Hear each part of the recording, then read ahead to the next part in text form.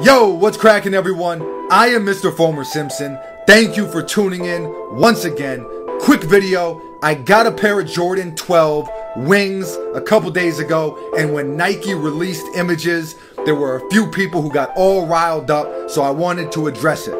As you can see on the images, there's this gold wing print underneath, kind of like the Lance Mountains. As you rock them, the black wears off and reveals the gold. Also, the wings on the side was in a smaller font. Now keep in mind, Nike pictures have been different than pairs released in the past.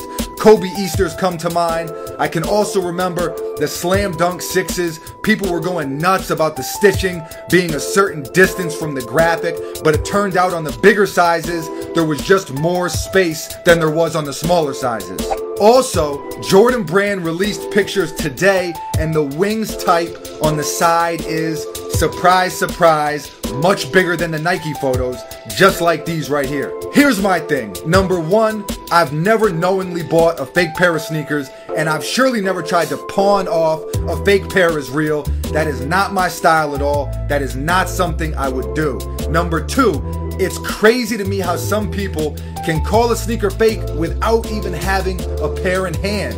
At least let people get them in hand and then compare them. That way it's easy. There's no opinions or experts. It's just black and white. It's plain to see if the pair is fake. And if they were, I would absolutely let people know that I got got. But I think what happens is you get a couple people who want to take it and run with it and stir the pot. Such is life, I guess. Anyways, it is what it is. I'm gonna rub some alcohol on these and see what's up. I already know some people are gonna be like, yo, you don't even have to do that. But like I said, I'm not out here trying to hide anything. And I think the gold print underneath looks dope. So here we go. As you can see, this is the same numbered pair that I reviewed. So here we go.